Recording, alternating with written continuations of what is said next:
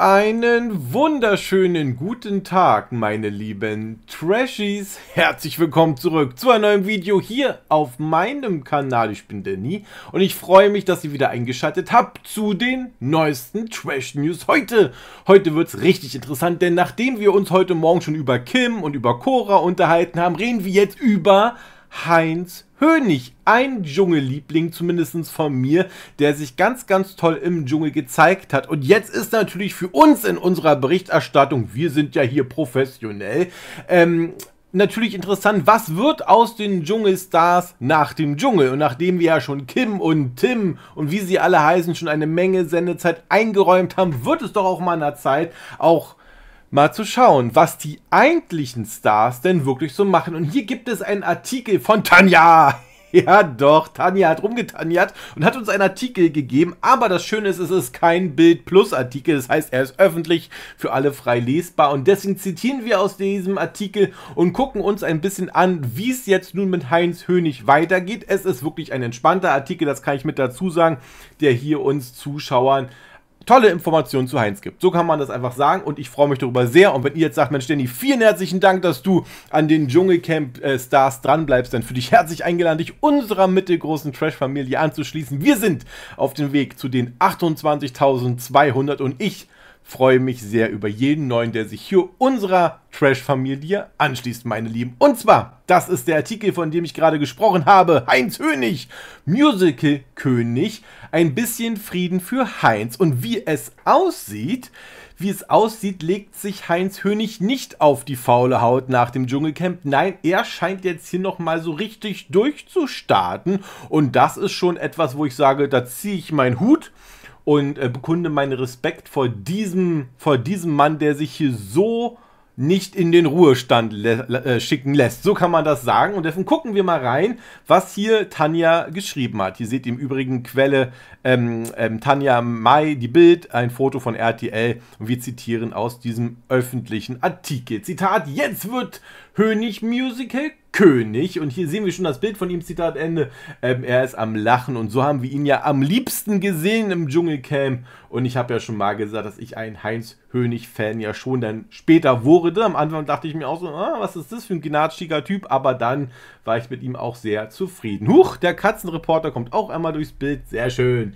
Das RTL Dschungelcamp musste TV-Star Heinz Hönig aus gesundheitlichen Gründen vorzeitig verlassen. Die Dschungelkrone blieb unerreichbar. Jetzt wird er zumindest ein Musical-König. Bild erfuhr, Hitkomponist Ralf Siegel hat den Star TV quasi aus dem Dschungelcamp heraus für die Wiederaufnahme äh, seines Musicals ein bisschen Frieden Summer Love engagiert. Premiere ist am 8. Mai ähm, im Deutschen Theater in München gespielt wird bis zum 19. Mai. Zitat Ende. Also hier scheint Hallo.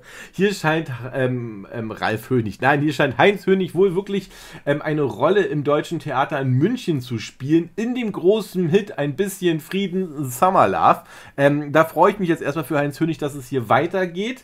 Und hier geht es auch weiter, Zitat. Es scheint, als würde sich nun ein Kreis schließen. Heinz Hönig sollte bereits 2022 in Duisburg in dem Musical mitspielen, doch wegen der Geburt seines jüngsten Sohnes sagte er damals kurzfristig ab. Jetzt wird er gemeinsam mit seiner Frau Annika Kersten Hönig in München auf der Bühne stehen. Es ist eine Ehre und große Freude, mit einem Musical von Ralf Siegel dabei zu sein. Ralf ist eine lebende Legende, sagt er zu Bild. Zitat Ende. Also, es scheint hier auch wohl direkt bei Heinz Hönig nachgefragt worden zu sein.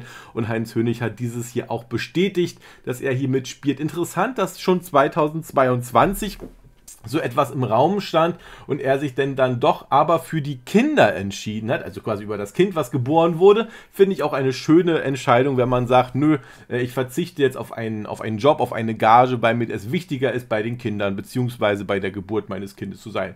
Äh, tolle Einstellung. Dann sehen wir hier nochmal die Szene mit Dr. Bob und Heinz Hönig als ja, den Camp-Teilnehmern verkündet wurde, dass Heinz Hönig aus dem Camp muss, aus gesundheitlichen Gründen. Heinz Hönig war damit nicht so unbedingt zufrieden, aber nach elf Tagen, was eine Hammerleistung war, musste er das Camp verlassen. Ähm, Zitat: Während seiner Schauspielausbildung lernte der TV-Star Anfang der 1970er Jahre Gesang, Die Musik war aber schon vorher ein großes Thema für ihn. Hönig, ich singe seit meiner Jugend, hatte damals sogar eine eigene Band namens The D. Wir waren kleine Rockstars. Und hier seht ihr das, ähm, ja, das, das Banner bzw. die Grafik. Ein bisschen Frieden, Summer of Love von Ralf Siegel im Deutschen Theater vom 8.5. bis zum 19.5. Wenn ihr also Interesse habt, das zu sehen, dann seid ihr ähm, dort richtig.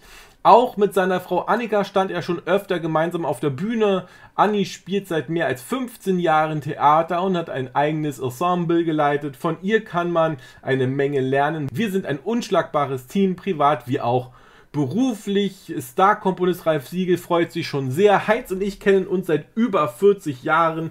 Ich war immer ein Fan von ihm. Nun ist es eine besondere Ehre, dass er in meinem Lebenswerk, die Musical Ein bisschen Frieden, eine Haupt Rolle spielt. In dem Stück Ein bisschen Frieden ist die junge Musikerin Nina ähm, dem Geheimnis einer langen verbotenen Liebe zwischen einem ostdeutschen Rockmusiker und einem westdeutschen Hippie-Mädchen auf der Spur. Heinz Hönig spielt einen ehemaligen Stasi-Offizier, der dem Musiker auf die Pelle rückt. Annika ist als Ninas Mutter Jutta Bauer zu sehen. Zitat Ende. Ähm, das hat mich äh, total gefreut. Also ich freue mich, dass es hier weitergeht und dass ähm, Ralf hier dann doch ähm, Heinz diese Chance gegeben hat. Zitat, auch Ralf Siegel hatte in den letzten Monaten mit gesundheitlichen Problemen zu kämpfen.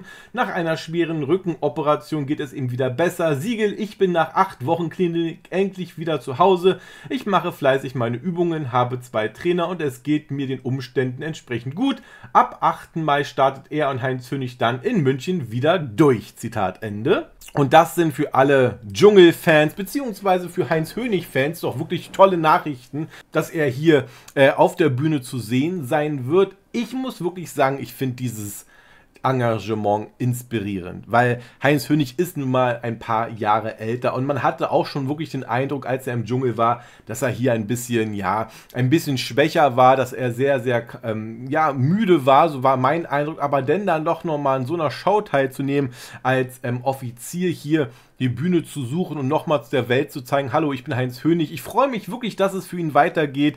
Ich freue mich wirklich, dass man hier in ihm natürlich auch diese, diese Chance gesehen hat oder ihm diese Chance gegeben hat, so ist es richtig formuliert, einfach nochmal auf der Bühne zu stehen. Wie Heinz das alles auf der Bühne macht, das äh, kann ich natürlich nicht beurteilen. Ich bin aber sehr, sehr zuversichtlich, dass er dem Job nicht zugesagt hätte, wenn er nicht auch wirklich Bock darauf gehabt hätte. Ich hatte so den Eindruck, im Dschungelcamp war er immer mal wieder voller Erinnerung an seine damaligen Erfolge, an seine damalige Zeit und ich bin einfach der Meinung, warum denn nicht? Wäre München nicht so weit weg von Berlin, würde mich das auch interessieren. Tatsache würde ich mir das auch anschauen. Aber wir werden das, ähm, denke ich mal, nicht schaffen, dorthin zu fahren. Aber vielleicht seid ihr ja in der Nähe aus oder um München und habt Lust drauf. Dann seid schnell denke mal, das wird schnell ausgebucht sein und dann könnt ihr auch Heinz Hönig sehen, meine Lieben. Ich hoffe, ihr habt euch gefreut. Ein kurzes, kleines Update heute mal ein kleines Video, aber auch für alle Zuschauer, die hier nicht unbedingt immer ein Kim-Tim-Drama sehen wollen, was ich durchaus verstehen kann, dachte ich mir, ist das doch eine willkommene Abwechslung, einfach auch mal etwas anderes zu erfahren, was wirklich rein positiv ist. Also, auch die ganze Schlagzeile, Berichtführung hier von Tanja ist auch in Ordnung. Also ich kann hier wirklich nicht rummeckern oder sagen, hier das und das. Nö, ein ganz ähm, seriöser Artikel. Okay, ich will mich nicht zu weit aus dem Fenster lehnen, aber ein ganz normaler Artikel mit einer Information über einen Star, der im Dschungel war. Kann man nicht sagen, ganz im Gegenteil, ich freue mich da sehr, meine Lieben. Ich verabschiede mich jetzt. Abonniert gerne den Kanal für mehr Trash-News. Morgen geht es nämlich weiter, morgen früh um 8 zum ersten Kaffee. Das wird interessant werden, meine Lieben. Ja, ja, da bin ich mir ganz sicher. Macht es gut. Tschüss.